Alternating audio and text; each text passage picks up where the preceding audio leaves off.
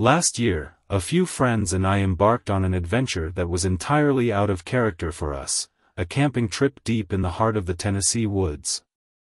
We were suburban kids, more accustomed to the hustle and bustle of city life than the serene, mysterious ambience of the great outdoors. Our chosen campground was far from the usual spots, hidden away off some back roads in a small, unfamiliar town. The idea was to challenge ourselves, break away from routine, and revel in the simplicity of nature. After a long drive, we arrived in the late afternoon, excited and ready for a weekend of camaraderie under the stars. Setting up camp was an adventure in itself, with a few tents scattered in the wilderness and all the food we thought we'd need for the next few days. Little did we know, our adventure would take an unexpected turn. As we settled into our surroundings, we encountered some locals who shared unsettling tales about the place. They spoke of hauntings, strange occurrences during the night, and cryptic beings that roamed the woods after dark. Frankly, I dismissed their stories as local folklore meant to spook outsiders.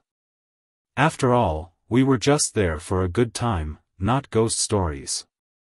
As the evening unfolded, we found ourselves enjoying the simplicity of a campfire, swapping stories, and indulging in classic camping delights like s'mores and hot dogs. Laughter echoed through the trees as we reveled in the joy of being boys out in the wilderness. We were having a blast, and the prospect of a day of fishing at a nearby lake added to the excitement. Eventually, the night settled in, and we retired to our tents, anticipating an early morning for our fishing expedition. I couldn't fall asleep right away, nature's call beckoned, and in my search for a flashlight, I overheard the local stories replaying in my mind. Nevertheless, I dismissed them as I ventured into the darkness to relieve myself by a nearby tree. In the pitch-black night, a rustling sound ahead startled me. Rationalizing it as a harmless creature, perhaps a bunny or a deer, I proceeded with my business. The encounter did little to quell my unease, but I brushed it off and returned to my tent. Little did I know that the night was about to take a turn for the eerie. Struggling to sleep amid the chorus of snores from my friends, I was suddenly jolted awake by a more pronounced rustling. This time, it carried an unearthly quality, a strange noise reminiscent of a wild beast. Panic set in, not just for me but for the friend sharing my tent. Darren's voice trembled as he questioned the source of the disturbance, suggesting the possibility of a bear. A tense discussion unfolded as we weighed our options. Running was deemed too risky, considering the potential danger if it were indeed a bear. We opted to stay put, silently waiting in the darkness, our imaginations running wild with thoughts of the mysterious creature outside our tent. Time seemed to stretch as we sat there, anxiously listening to the night sounds. Darren succumbed to sleep, but I remained awake, my senses on high alert. An hour passed, filled with whispers and the occasional rustling in the distance. The night was far from tranquil. As I tried to reconcile my fears, I dozed off momentarily, only to be awakened by the unsettling sound once more. This time, however, the first light of morning provided a dim glow, revealing shadows moving around our camp. Tentatively, I unzipped the tent and peered outside, expecting the worst. To my surprise, three black bears were leisurely investigating our belongings, their eyes meeting mine. It was a startling revelation, the source of our night's terror was not a mythical beast but flesh and blood creatures. Panic set in as I shouted, waking my friends and alerting them to the unexpected visitors. In the chaos that ensued, we collectively yelled and made noise, attempting to scare the bears away. Miraculously, it worked, and the trio lumbered off into the woods. The relief was palpable, and gratitude washed over us as we realized the danger we had narrowly escaped. The rest of the morning unfolded with a mix of tension and gratitude. We shared nervous laughter and exchanged stories about the night's events, acknowledging the irony of our initial skepticism toward the locals' warnings. Despite the scare, we decided to stay another night, albeit with a newfound awareness of the potential dangers lurking in the woods. The second night passed without incident, and we packed up our camp the next morning, leaving the Tennessee woods behind. The experience left an indelible mark on us, a tale to be retold with a mix of humor and reverence for the unpredictability of nature. Looking back, I can't help but appreciate the irony of our adventure. What started as a quest for the unknown, fueled by skepticism and a desire for excitement, turned into a night of genuine fear and a morning of gratitude for the presence of those three bears. It was a reminder that nature, with all its beauty and wonder, also commands respect and demands our humility in the face of its mysteries.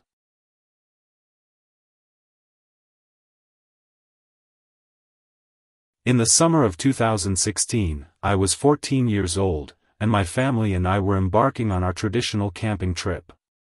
We had been frequent visitors to this particular campground since I was a baby, creating cherished memories amid the natural beauty that surrounded us. However, this year was different. I found myself a year older and without the company of friends. My little sister, seven years my junior, couldn't quite fill the void, leaving me to navigate the campground solo. The campground wasn't the typical one with tightly packed tents and RVs. Instead, it sprawled with ample space, filled with trails winding through various trees. Despite the vastness, a solitary, eerie cabin caught my attention. Nestled far from my campsite and any others, it seemed abandoned. Passing by on my bike, I'd often glimpse the cracked front door, revealing an emptiness that suggested no recent occupants. One day, curiosity gnawed at me relentlessly. The door was ajar this time, a detail that hadn't changed in my numerous passes. The internal debate played out for a moment before succumbing to curiosity's allure. I approached with hesitant steps, the creaking door amplifying the eeriness. My eyes widened, and my jaw dropped when I saw him, an old man standing directly across from me.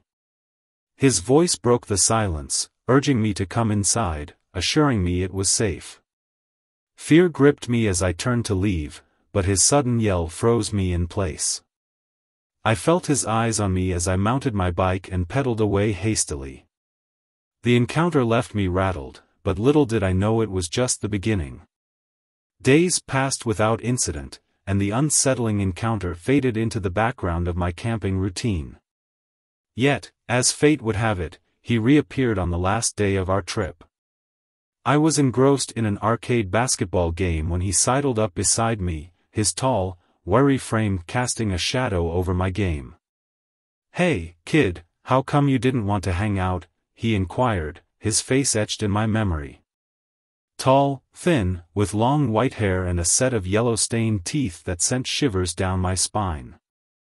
His beat-up clothes spoke of a worn existence, and his unsettling smile revealed a predator's intention.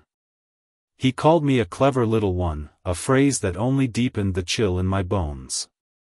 A wink accompanied his unnerving smile as he sauntered away, leaving me frozen with unease.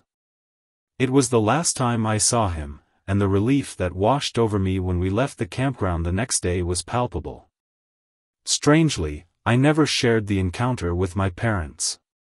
Fear clung to me, silencing the words that begged to be spoken.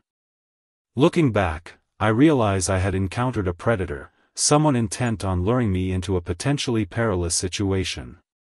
It's a realization that sends shivers down my spine even now. The experience left an indelible mark on my perception of camping, once a beloved escape that became tinged with the shadows of that encounter. The solitude that once felt freeing now harbored a subtle fear, and the joy of exploring the campground on my bike was replaced with a wariness of hidden dangers.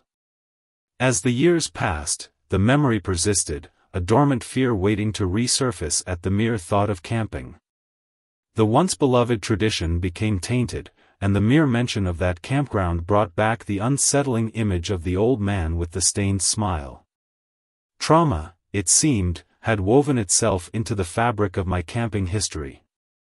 In the aftermath, I questioned my decision not to confide in my parents. What if he had targeted someone else?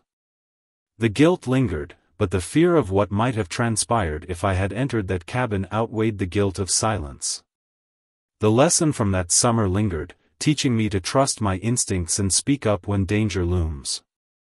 It also left a scar, a reminder that the places we hold dear can harbor hidden threats. Despite the passage of time, the echo of that encounter reverberates within me, a cautionary tale etched into the core of my camping memories. As the years unfold, the question of whether I'll ever camp again remains unanswered. The love I once had for the great outdoors has been overshadowed by a lingering unease. Perhaps, with time and the right company, I can reclaim the joy that camping once brought me. Until then, the memory of that fateful encounter serves as a silent guardian, a reminder that even in the beauty of nature, vigilance is a necessary companion.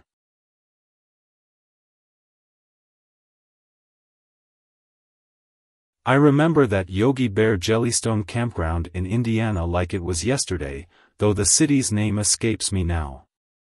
My family and I, avid campers, frequented different campgrounds across the U.S., and this particular trip stands out, not for the joy it brought, but for the haunting tragedy that unfolded.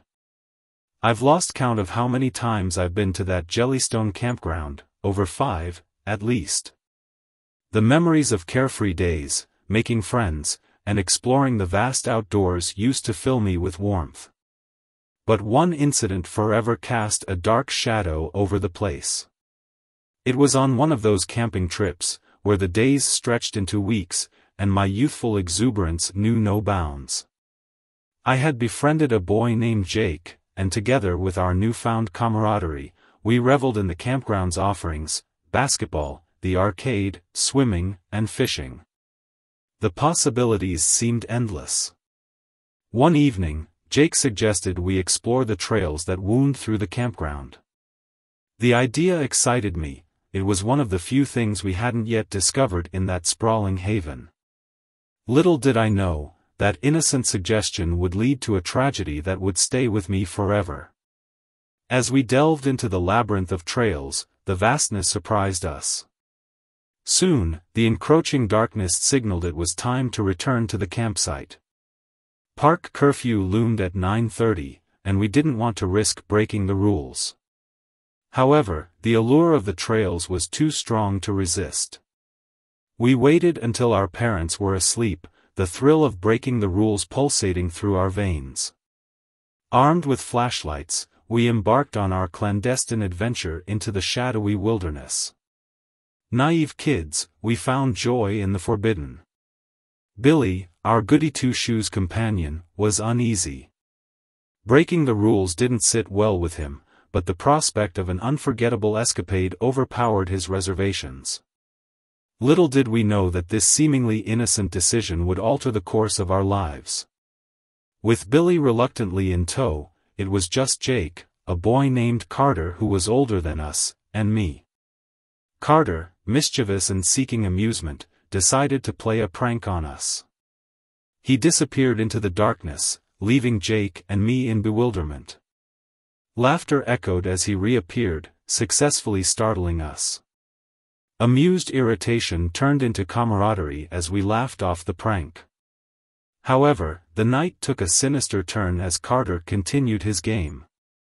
He darted away into the shadows, playing hide-and-seek with us. Irritation transformed into worry as we spent what felt like an eternity searching for him. Growing tired of the game, we yelled that we were leaving if he didn't show himself. Unbeknownst to us, this decision would haunt me for the rest of my life. Carter, perhaps thinking we were bluffing, didn't emerge. We left, frustration replacing amusement. As we walked away, laughter echoed behind us. But soon, those laughs transformed into screams, piercing the night air. Confused, we sprinted back, fueled by fear. The once thrilling adventure now took a terrifying turn. Carter's screams tore through the stillness, and dread settled over us. He wasn't acting, something was horribly wrong. We ran back to our parents, panic seizing us. Desperation clung to our voices as we relayed the chilling events. My mom called the police, and the park security and rangers joined the search. Yet, one ranger seemed more interested in hounding my dad than helping. We scoured the trails, every step heavier than the last. Time slipped away, and the agonizing realization set in, they couldn't find Carter. Panic turned to chaos as Carter's parents, overcome with grief, blamed my family. The once beloved campground now bore the weight of an unsolved tragedy. Eventually, we were kicked out of the park, forbidden to return until the next year. The guilt I carried was immense, I blamed myself for Carter's disappearance. The what-ifs plagued my thoughts, and the haunting screams echoed in my dreams. Years passed, and the weight of that night clung to me like a specter. The guilt persisted, gnawing at my soul. I should have done something differently, taken another path, stayed a little longer. But I was just a child, unaware of the cruel twists life could take. As I grew older, the realization dawned that I couldn't have changed the course of events. Carter's disappearance was a tragic twist of fate, a dark moment in the midst of a seemingly innocent adventure. Still, the guilt lingered, a constant reminder of the fragility of life. Over time, I've learned to cope with the memories. Speaking to friends and family about the experience, and seeking professional help, became crucial steps in the healing process. The wounds may never fully heal, but acknowledging that I was not to blame has been a crucial step in moving forward. Life has a way of throwing unexpected challenges our way, and sometimes, there's no rhyme or reason to the tragedies that befall us. The Yogi Bear Jellystone Campground, once a symbol of joy, now stands as a poignant reminder of the unpredictable nature of existence.